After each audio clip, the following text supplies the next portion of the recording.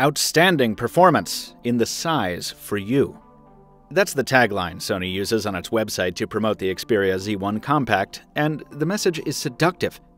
Big power without the need for a big casing. It's something we've long called for, and now Sony is saying it's here. So, how does the Xperia Z1 Compact deliver? Let's find out. I'm Michael Fisher, this is Pocket Now, and this is our video review of the Sony Xperia Z1 Compact.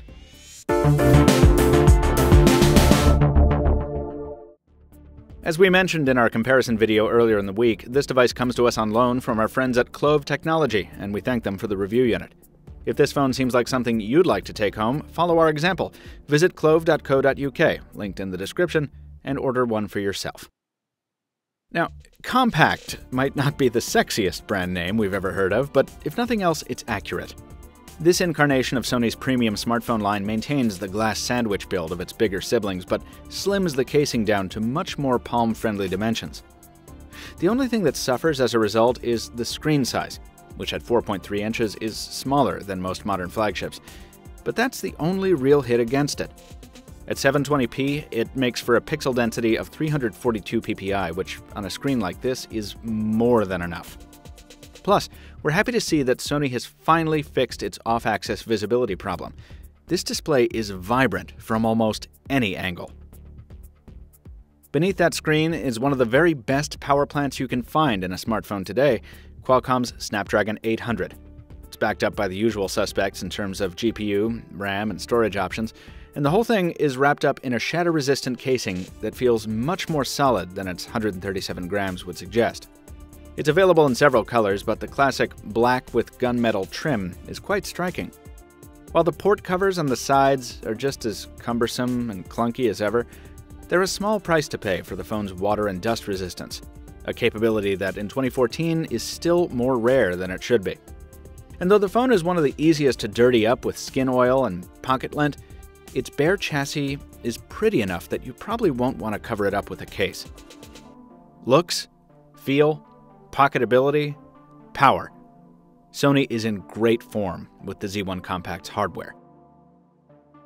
The company is no slouch in software either, at least in terms of aesthetics. Yes, this is skinned Android, which means that yes, we're looking at an older software build with delayed updates and all the other sacrifices that come with it, but what you get in exchange isn't some stuttering mishmash of nonsense. It's pretty, it's cohesive, and it almost never bogs down, even when the phone is doing a lot of work in the background.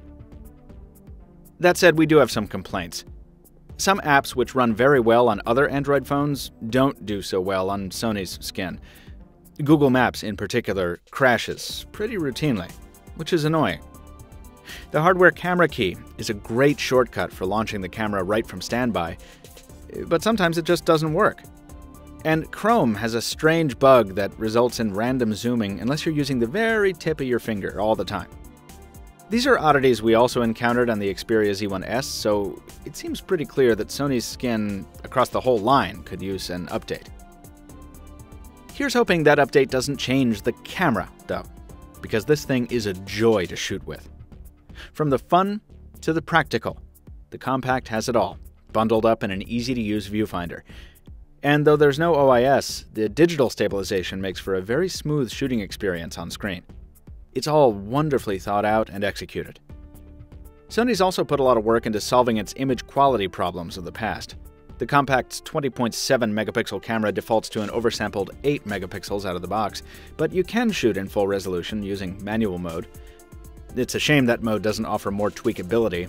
We especially miss manual focus but you'll probably be better served by Superior Auto anyway.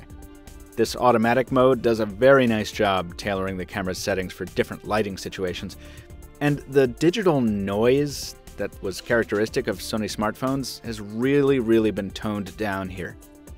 It's still there if you look hard enough, particularly in low light shots where the device is apparently doing a lot of post processing, so we're still not in Lumia territory here.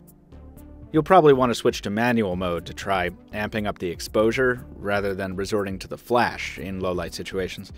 The so called flash bleed problem doesn't show up in every shot, but it's definitely there in some. In camcorder mode, the compact is impressive. Automatic shooting and good lighting produces video that's a pleasure to look at. Colors are well balanced, automatic adjustments are speedy, and sound capture is a little muddled compared to other devices, but it's clear enough for most situations.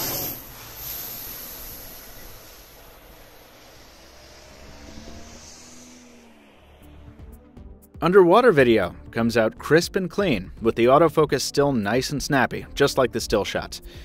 If you've watched our camera test of the Xperia Z1S, this won't come as a surprise. It's the same hardware, and it does just as good a job here. Sony's claim of the best camera on a waterproof, compact smartphone is awfully narrow, but as far as we can see, it's also spot on.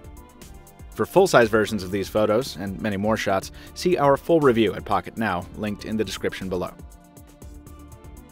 We tested the Z1 Compact over a six day period between Massachusetts and Maine on T Mobile's 3 and 4G networks. We didn't run into many reception problems, and battery life was reasonably solid, though it varied a little more than we're used to seeing. On its first charge, we used it quite heavily, and it endured for over 10 hours. But that kind of endurance wasn't consistent possibly due to our office being in a fringe coverage area. Voice calls were quite nice on our end, with crisp, loud side tone and plenty of earpiece volume, though callers didn't seem to understand us quite as well as when we used other phones. Gaming, as you might expect with a Snapdragon 800 inside, is excellent. About the only place the Z1 Compact is truly underwhelming is in its speakerphone. Even when bone dry, it's a thin sounding, tinny little module that's easy to accidentally block with a finger despite that huge grill. With a price tag north of $500, we'd expect nothing less than premium level performance from the Z1 Compact, petite package or no. And fortunately, we're left with a smartphone that delivers just that. It loses points for audio performance and a slightly buggy and already outdated build of Android, but it gains a whole lot too for delivering on the promise of a palm sized smartphone with almost no compromise. Our numeric score is available in our full review at Pocket Now, so we'll close here by saying if big phones aren't your bag, your hunt for mid sized quality should definitely begin with a very close look at the Xperia Z1 Compact. One more time, folks, if you want more details about our impressions of the Z1 Compact, we have a lot more that we couldn't fit in this video, but that we did fit in the full written review. Check it out, it's the first link in the description below, the full review at Pocket Now, including sample photos you didn't get a chance to see in this video and a whole lot more. And be sure and visit our friends at Clove, clove.co.uk, if you want a Z1 Compact of your very own. Before you go anywhere, like this video, please, if you did enjoy it, and drop us a comment down below if you have some follow up feedback, a question. And be sure to follow us on social media so you don't miss future content on the Z1 Compact and every other smartphone or tablet and wearable we can get our hands on. Until next time, it's been Michael Fisher with Pocket Now. Thank you so much for watching, and we'll see you soon.